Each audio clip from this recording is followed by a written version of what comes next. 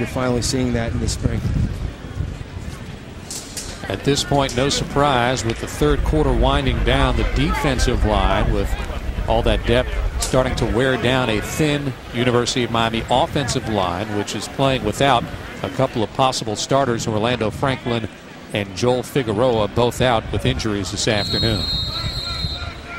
And Jeff Stoutland told me yesterday he's going to find the five best offensive linemen regardless of position. He's going to get those five guys on the field, even if they have to move guys from guard to tackle. You see Orlando Franklin was bumped over from guard to left tackle to fill in for Jason Fox, who's departed for the draft. But he's going to use these guys any way he can. He's going to get the five best guys on the field.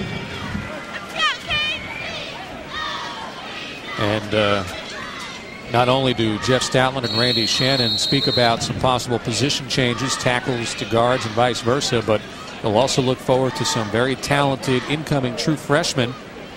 Brandon Linder, a U.S. Army All American, headlining a group. A freshman set to arrive in the summer, and uh, it's not impossible that a first year Hurricane play along the offensive line, as you can attest, KC.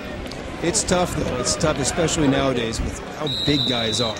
And I think it's a bigger transition coming out of high school now just because of the the, the, sheer size of these players. I was I was looking at these guys yesterday, and I was 6'1", 260 at my at my heaviest, at my biggest at University of Miami, and was able to play at that at that level at, at that weight.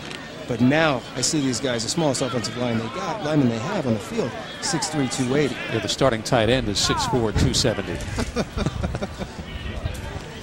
it's a different game. Inside, different uh, game. inside the final minute, here in our third quarter as Damien Berry between the tackles for a gain of three yards.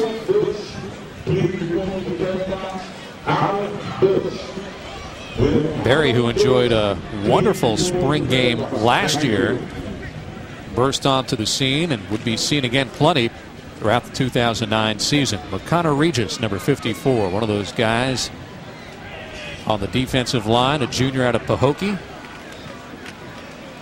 Hurricanes do lose a veteran, Joe Joseph, who made 10 starts, a senior who moved on from the program.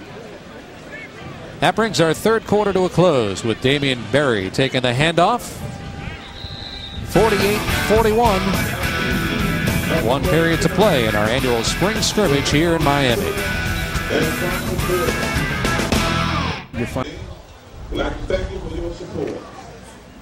Uh, blast from the pass with fireworks and highlights on the offense for the University of Miami. All types of scoring. Travis Benjamin contributing with two touchdowns on the day.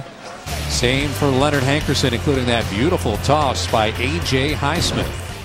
Fourth quarter now underway. Spencer Whipple whips that one complete at the 40 yard line to a very active Kendal Thompkins. Kendal Thompkins, another Northwestern Bowl He's going to be uh, in the rotation at that uh, at that Z position on the field. I'll tell you what, a stable, another stable wide receivers to throw to for uh, for Jacory Harris this year. Brandon McGee providing the defense, and the officials obviously looking forward to their post-game activities, letting that one go by as the Hurricanes come in with the no huddle offense here. Randy Shannon has some words for Brandon McGee. Didn't seem like there was much of an opportunity for a reception on that play. Shannon maybe talking to McGee being a little bit over aggressive.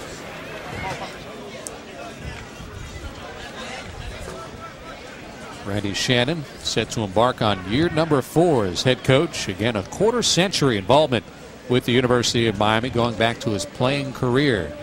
Damien Berry looking to break it to the outside and picks up a few yards before being shoved out of bounds. McGee again involved in the secondary.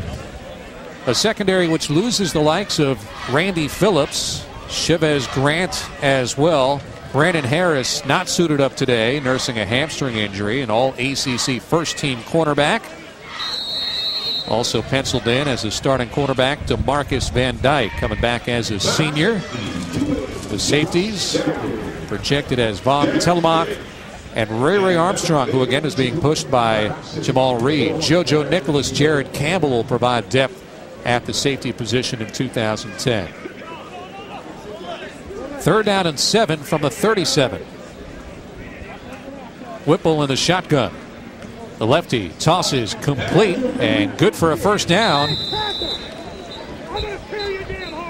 And slow to get up. The receiver on the play looks like Kendal Thompkins back on his feet. Another star studded line of former Hurricanes on the sideline with our Allison Williams. Allison. Guys here with Willis McGahee, and it's funny because a lot of the former players, you know, they're off on the sidelines, maybe down by the end zone, but you've been hanging out with all the young guys this entire time. Has it been fun for you to be back around some of the young guys? Oh, uh, you know, basically I know all these guys, so, you know, I'm still a kid. I ain't nothing but, you know, 20-something, so, you know, I, I try to hang around everybody and be with everybody. Are they picking your brain a little bit, trying to get some advice? Uh, we talking about unnecessary stuff. We just around here shooting the breeze, that's all. One of the running backs, Mike James, just scores. He's been a big name this spring, as well as Storm Johnson. Was that Damien Berry? Okay, excuse me. Damien Berry as well, though. And I mean, just goes to show how much talent they have at that running back position. Talk a little bit about what you've seen here today that you've liked from these guys. Uh, you know, well, we got a great group of backs, and, you know, it's always been like that. At one point, it was called a running back U. I mean, uh, it was called a quarterback U, and now it's called a running back U. So hopefully they can keep the tradition going by being a running back U. And, you know, those guys, it's, it's a lot of them. So, you know, you can't go wrong with either one of them because all of them great. They all do different things at different times. So, you know, Coach Shannon got a job that he's going to have to figure out who's going to be the starter or not. Lamar Miller is one of the tailbacks that's also running track. That's something you did while you were at the University of Miami.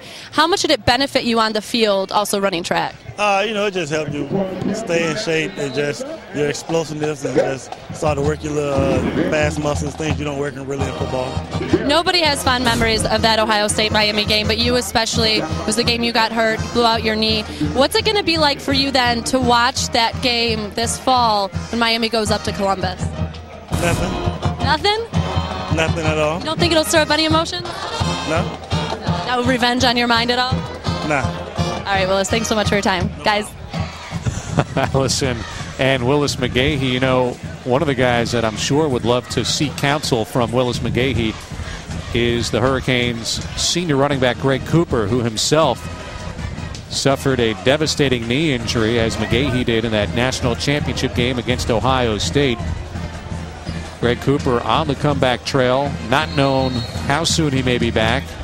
And of course, everybody wishing the best for Cooper, who suffered the injury in the bowl game against, against Wisconsin. But it is uh, comforting to know, KC, that as he's on the comeback trail, Damien Berry, Mike James, and the youngsters Lamar Miller, Storm Johnson, and even Lee Chambers, who's out with an injury today, provide plenty at the position.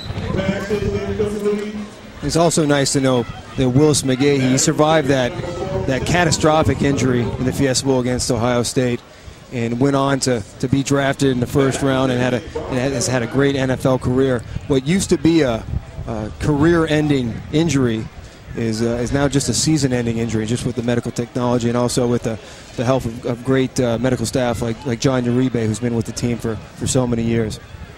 Graig Cooper has put up some amazing numbers coming back as a senior out of Memphis, despite many times splitting carries throughout his UM career.